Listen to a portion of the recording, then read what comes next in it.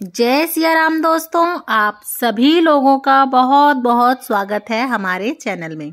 और आज की इस वीडियो में मैं आप लोगों को बताऊँगी कि इस मकर संक्रांति यानी कि संक्रांत वाले दिन से आप तुलसा माता को बिंदी लगाने का नियम कैसे उठा सकते हैं और फिर उसका उद्यापन आप कैसे कर सकते हैं। संपूर्ण विधि बताई है मैंने तो वीडियो को एंड तक ज़रूर देखिएगा। तो चलिए वीडियो को शुरू कर लेते हैं। देखिए, सबसे पहले आप सकरात वाले दिन सुबह जल्दी उठ के स्नान वगैरह कर लीजिएगा और उसके बाद आप पहले अपने पिछले साल के जो भी नियम पकड़ा हो उसका उद्यापन कर दीजिएगा और उसके बाद हम अपना नया नियम पकड़ेंगे।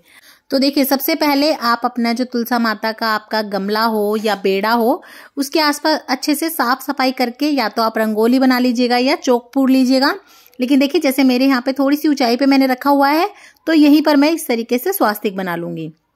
आप स्वास्तिक भी बना सकते हैं, रंगोली वगैरह बना सकते हैं। उसके बाद मैंने थोड़े से चावलों का आसन दे दिया है और सबसे पहले हम हमारा दिया जोड़ लेंगे। और देखिए, दिया आप वैसे हो सके तो देसी घी का ही जोड़े, नहीं तो आप तिल के तेल का या सरसों के तेल का भी जोड़ सकते हैं। और उसके बाद आप अपने दिए के आगे हाथ जोड़ ले, क्योंकि अगर आप दिया जोड़ने के बाद हाथ नहीं जोड़ते तो उसका आपको संपूर्ण फल नहीं मिलता। उसके बाद देखिए, हम तिलक कर लेंगे। तो अगर आपने भी सालिग्राम भगवान रखे हों तो पहले आप उन्हें चंदन का तिलक कर लीजिएगा। और देखिए, मैंने इनको स्नान पहले ही करा दिया था तो आप पहले स्नान करा दीजिएगा उनको भी। और उसके बाद हम तुलसा माता को रोली से तिलक कर देंगे। और देखिए, आज ही से हम ये अपने मन में संकल्प लेंगे कि अब मैं तुलसा माता को बिंदी लगाने का नियम ले रही हूँ। तो देखिए, इस तरीके से आप रोज तुलसा माता को या तो या फिर उनके जो गमला होता है, उस पर रोज बिंदी लगाएँगे। तो इस तरीके से आप तुलसा माता के पत्तों पे, उनकी जो टहनी होती है, उन पे भी लगा सकते हैं। और आप चाहें तो उनके गमले पे भी रोज के हिसाब से बिंदी लगा सकते हैं। उसके बाद रोज आपको जल से तुलसा माता को सींच देना है और इस तरीके से आपको रोज पूजा कर लेनी है। आपको याद से रोज तुलसा माता में जो है बिंदी लगानी है, जल सींचना है। और जिस दिन हम तुलसा माता में बिंदी नहीं लगाएँगे या जल नहीं सींचेंगे, किसी भी कारण से अगर छुट्टी होती है संडे है तो आप अगले दिन यानी कि नेक्स्ट डे अपने काउंटिंग को कवर कर सकते हैं। दो बिंदी लगा के तीन बिंदी, चार बिंदी लगा के तो इस तरीके से आपको याद से रोज तुलसा माता को बिंदी लगा लेनी है। इसी तरीके से रोज आप जब बिंदी लगाएँगे और पूरा एक साल तक इस नियम को आप पूरा करेंगे यानी कि आपको रोज बिंदी लगानी है। अगर किसी कारण से आप नहीं लगा पाते सुबह तो कोई बात नहीं, आप शाम के समय भी लगा सकते हैं। क्योंकि देखिए, चोटी बिंदी सुबह और शाम दोनों टाइम की जाती है। तो इस तरीके से हम माता रानी को सुहाग देंगे और ये देखिए, जब आप पूरे एक साल कर लेंगे, उसके बाद आपको इसका उद्यापन करना होगा। तो उद्यापन में आपको कुछ सामान चाहिएगा तो आप सुहाग का सामान ले लीजिएगा। और देखिए यहाँ पे मैंने एक पैंट शर्ट का जोड़ा ले लिया है और एक साड़ी ले ली है।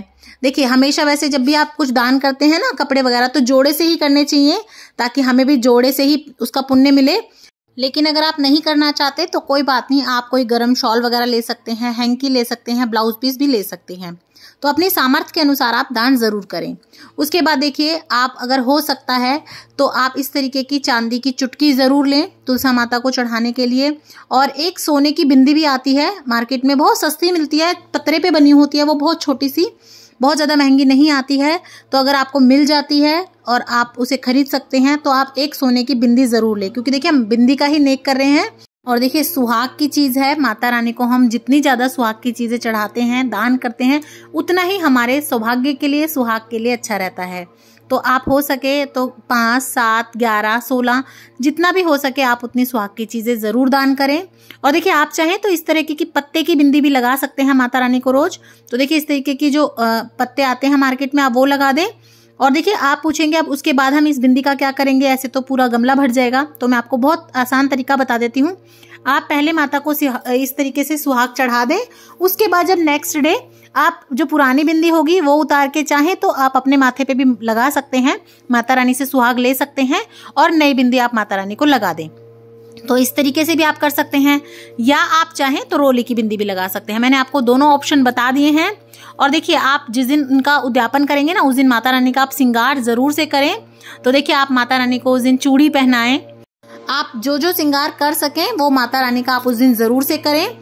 और साथ में देखिए, आप कुछ दक्षिणा ज़रूर ले लीजिएगा ताकि अगर कोई भी त्रुटि हो गई हो हमसे, कुछ भूल हो जाए तो वो हमारी जो है ना, पूरी हो जाए। तो देखिए, यहाँ पे मैं भी माता रानी का थोड़ा सा श्रृंगार ज़रूर से कर दूँगी। तो ये देखिए, हम दो दो चूड़ी दो दो चार चार चूड़ी इस तरीके से माता रानी को पहना देंगे। ये देखिए, इस तरीके से।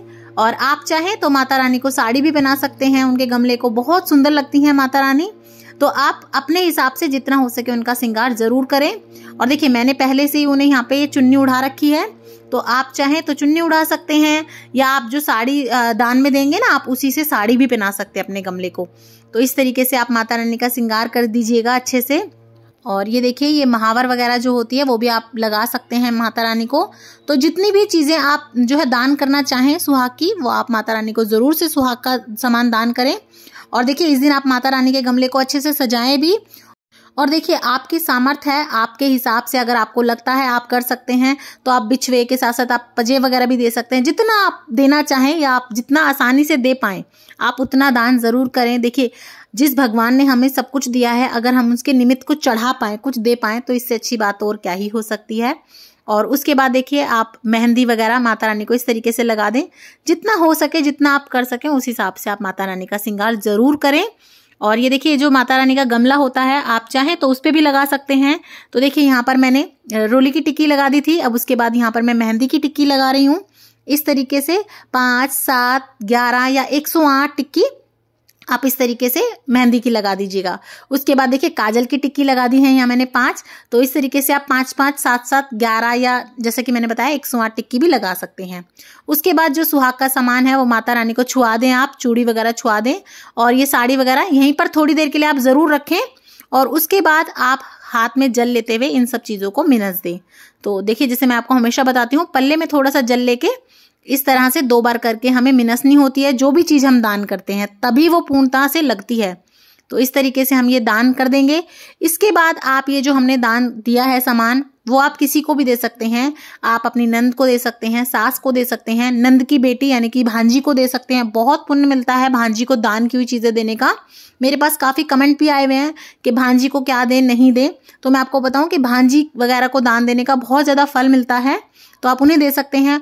और ये जो माता रानी के ऊपर हमने चूड़ी सिंगार में चढ़ाई है, वो आप खुद भी प्रसाद रूप में खुद भी पहन सकते हैं। उसके बाद देखिए संक्रांत होती है तो आप तिल से बनी हुई मिठाइयों का भोग ज़रूर लगाएँ तुलसा माता को। तो यहाँ पे मैंने लड्डू बनाए हैं तिल गुड़ के, उनका भोग लगा दिया है। तो आप कोई भी संक्रांत पे मिठाई वगैरह का भोग लगाएँ माता रानी को, उसके बाद माता रानी की आरती कर लें आप इस तरह से। उसके बाद जितना आपका सामर्थ हो, उस हिसाब से आप माता रानी की परिक्रमा ज़रूर करें। 108 कर सकते हैं आप। या आप चाहें तो 11 परिक्रमा कर ले, सात कर ले, पाँच कर ले, कम से कम दो या फिर एक तो परिक्रमा आप ज़रूर से करें। तो इस तरह से आप भी तुलसा माता को बिंदी लगाने का नियम अपना सकते हैं, उसका उद्यापन कर सकते हैं। और ये जो आपने सामान यहाँ पे रखा है, उद्यापन करके आप थोड़ी देर तो यहीं रहने रख दें इस सामान को। उसके बाद आप इसे किसी भी सुहागन महिला को, मंदिर में या फिर आप पंतानी को दे के आ सकते हैं। तो आपको ये वीडियो कैसी लगी, मुझे ज़रूर बताइएगा कमेंट करके। और अगर आपको वीडियो अच्छी लगी हो, मेरा चैनल पसंद आ रहा हो तो इस वीडियो को ज़्यादा से ज़्यादा शेयर कीजिएगा ताकि किसी के काम आ सकें। लाइक कर दीजिएगा और सब्सक्राइब करना तो बिल्कुल भी मत भूलिएगा। देखने के लिए बहुत बहुत धन्यवाद। जय सिया राम।